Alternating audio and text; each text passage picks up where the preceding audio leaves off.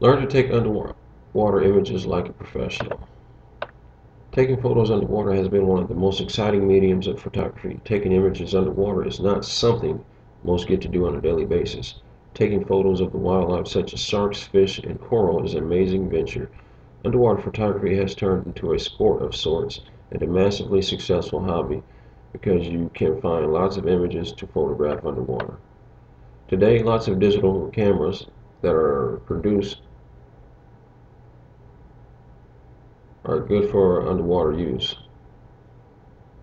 If you look at images on the internet, you'll see lots of images that have taken by that are taken by those that have interest in underwater photography. You see this surge because of the advanced technology has made it possible to take cameras underwater. The issue that comes about with this is you have lots of people that take that think taking pictures underwater is like taking pictures photos on land. The biggest difference is about knowing how to take the photos and where to take them when you're underwater. Many that take photos underwater wonder why their photos come out terrible or why the picture quality is so poor. That's because the lighting is different. Many underwater photos come out nothing more than a white blur because they are taken directly into the sun. The first thing to do is go to the ocean and stay away from lakes and ponds. So lakes and ponds have a tendency to be dirty and grimy, and you can't see anything in a lake or pond. Many parts of the oceans happen to be very clear. And also be sure to buy a dive specific camera.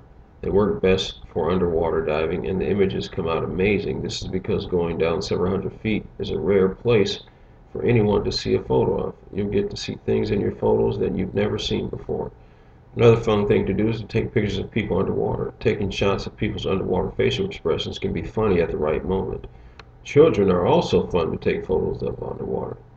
Taking underwater photos creates a lot of lifetime memories for the entire family. If you choose to pursue underwater photography as a hobby, I would recommend you taking a class with an experienced dive instructor. This will help you develop great habits, and by learning from the experienced instructor, you'll sharpen your skills as a photographer.